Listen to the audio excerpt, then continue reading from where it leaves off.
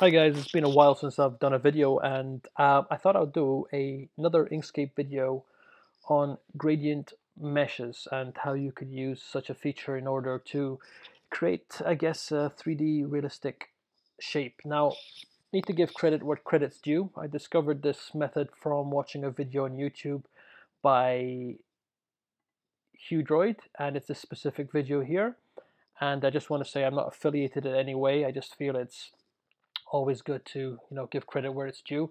And I will put a link on the description to the original video of HueDroid if you want to have a look at that video as well. So the let me just minimize this. The mesh gradient tool essentially how we can make use of this tool I'm just going to show you right now. So first and foremost um, if you look at up here the tool is this bit here.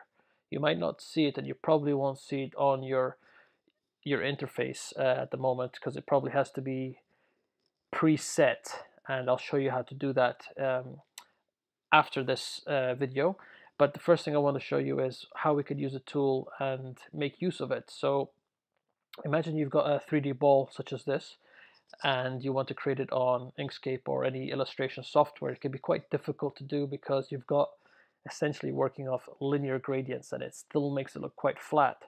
So this is how the tool essentially works. So let's create a, a circle, roughly the same size. I'm just going to get rid of the the stroke here because we don't need it. So roughly the same size. Just bear with me. About there and we activate the tool. And what we have here is we're, we're going to put excuse me apologies for that five rows and five columns and then we're going to click double click on the actual sphere that we created. So you could see that it's got that sort of 3D effect. The, the trick here is to actually use these diamond nodes here by selecting them and then going over to the original photograph and selecting the colors so let's start off by say, I'll click on that one there, and then I click on the uh, picker icon here, and roughly where this location is in the ball here, we go roughly at the same location of the ball, the original ball, the photograph ball. Click on that. Now we do the same here. This might take just a bit of time, but I think it's well worth it. Continue doing it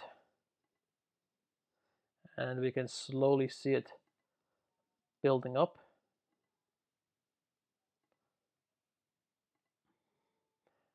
Let's go here, click the color there, going towards the center of the ball, and that didn't work. Try it one more time.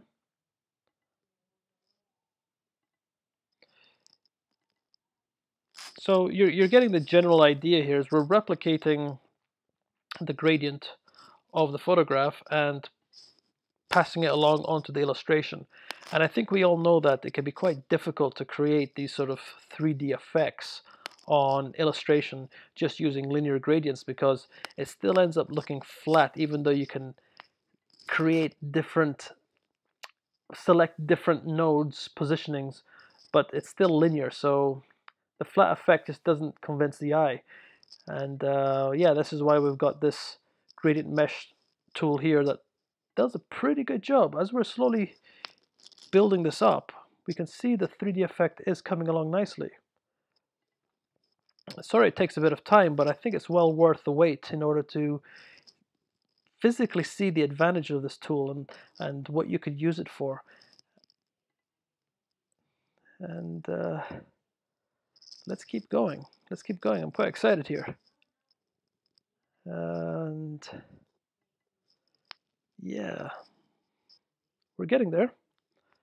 I think it's worth me finishing this so you can see the overall effect. I could fast forward this, but hey guys, you know, this is something that you've got to do in real time anyway, so sometimes good things come to those who wait, so let's just wait a little bit longer. And yeah, you can keep it going around till we get to the end. And we're getting there. We're almost finished. Sorry, I didn't really do it in a specific order. I'm quite a random type person, so I just do things as comes to my head. But you guys are probably more structured. And advice to be more structured. It's far more uh, efficient. And we're just about finishing here. These last two nodes.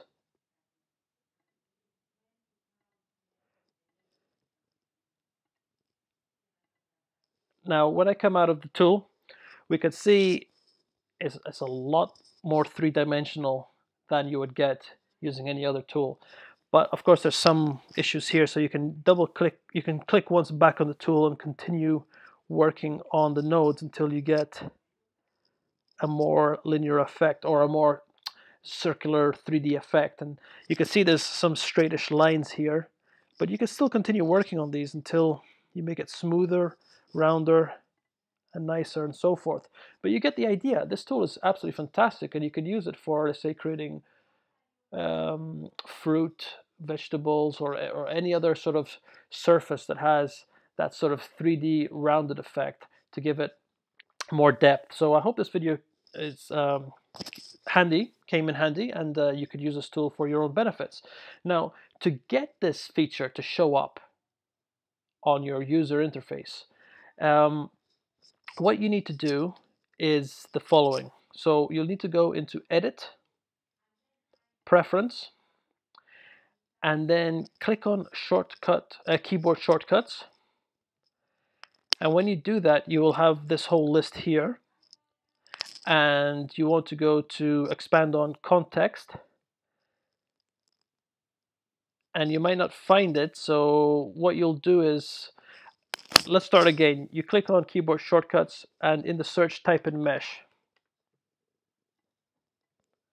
Right, and mesh is under context here. So this is context, the drop down menu. Click the drop down menu, you've got mesh, and here you've got the shortcut. You can create your own shortcut. I've just typed in X so that when I type when I push when I push X on the keyboard, it will show up here on the left hand corner. But if we just created something else, so just double click it, click on it once, new accelerator should come up. When that text comes up, then you can put in the shortcut on your keyboard that you want to use. I just use one letter. So like I say, I, I use X. So in this case, let's just put Q. So now my shortcut is Q.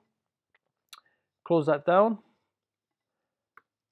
And uh, every time I press Q, it should, it should show up. So if I close the software down, and let me just reopen it.